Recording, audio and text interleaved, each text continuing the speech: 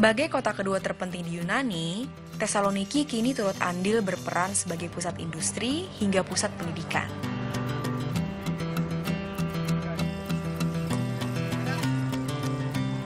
Dua faktor yang cukup kuat menjadi magnet bagi pendatang.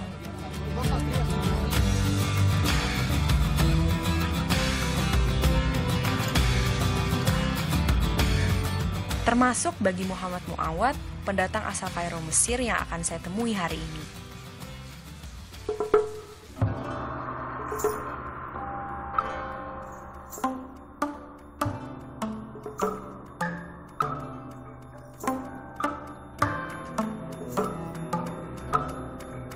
Adalah pendidikan juga yang menggiring langkahnya ke sini.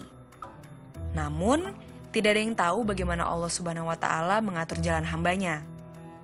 Hingga kini, hatinya tiba-tiba saja berlabuh.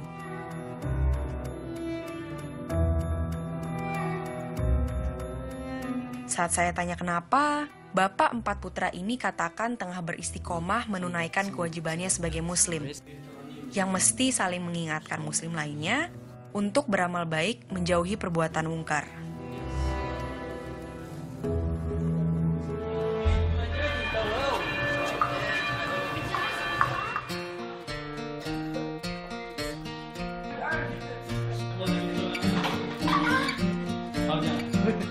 Tingginya kedatangan imigran Suriah pasca konflik yang melanda negara tersebut membuat jumlah imigran muslim di Tesaloniki belakangan meningkat.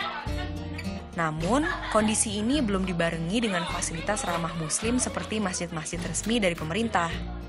Sehingga, bagi muslim seperti Muhammad, pada akhirnya mesti mandiri, mengusahakan agar bisa beribadah dengan layak.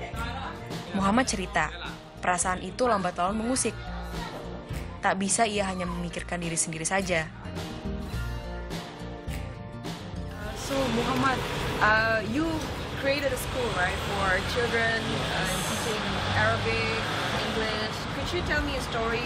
Why did you decide to do that? Uh, actually, it is started. We started our job in, in teaching the kids mm, since two years ago, two three years ago. But last uh, year we, we, we thought to have a legal entity that is by the law uh, allows uh, allow us to to teach the kids. So right now we have uh, it before one year and a half. Uh, we have now around 70 kids of uh, three levels. We, we, we divided the kids according to their age, their educational level also. Okay. It is one factor based on the classification of the, of the students.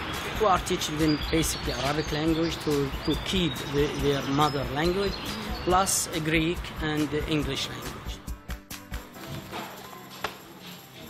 أعوذ بالله من الشيطان الرجيم بسم الله الرحمن الرحيم حبيم تنزيل الكتاب من الله العزيز العليم غافر الذنب و- Sejak satu setengah tahun silam, ia istiqomah mengelola lembaga pendidikan Al-Quran pertama dan berizin resmi di Tesaloniki.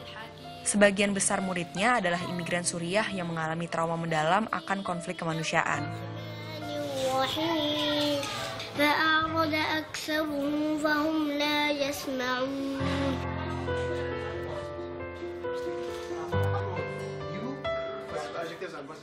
Tujuh pengajar yang aktif di sini pun seluruhnya adalah pengungsi.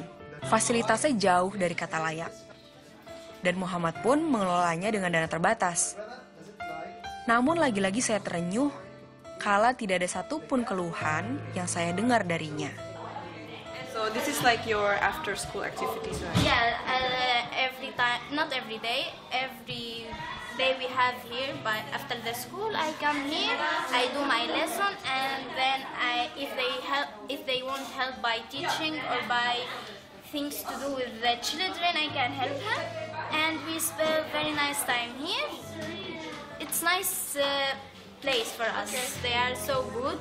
Actually here we feel all of us like sister and brothers. We are not anymore friends or that. We are brother and sisters.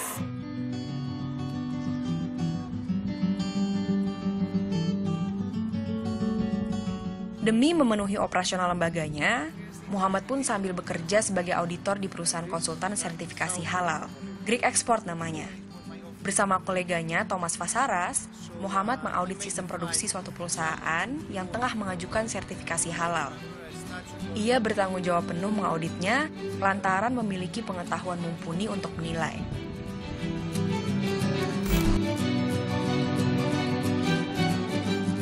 Apakah sistem produksi di satu perusahaan sudah atau belum memenuhi syariat Islam? Karena bicara soal halal bukanlah sebatas mengandung bahan-bahan yang dilarang atau tidak.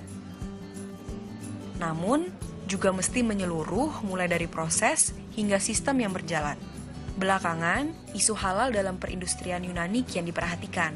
Hal ini seiring kegiatan ekspor yang tengah ditingkatkan pemerintahnya. So uh, before uh, 2012, there were um, only a few, very few companies that are certified, mainly by European certifiers. Um, and then when we started in the beginning, we saw that there was a big uh, opportunity in the sense of Greek production, uh, food production, producers of several different types of food, that they wanted to export. So the booming of the halal industry in Greece is not really tied neither to tourism nor to local community. It is tied with the export business. So uh, they had to move into that direction to obtain the certificate. Now this has grown uh, up to um, you know we have like uh, approximately 100 companies that are certified in that area of the Balkans, so Greece and surrounding countries. From the technical part, I mean, how we, we the company got uh, certified.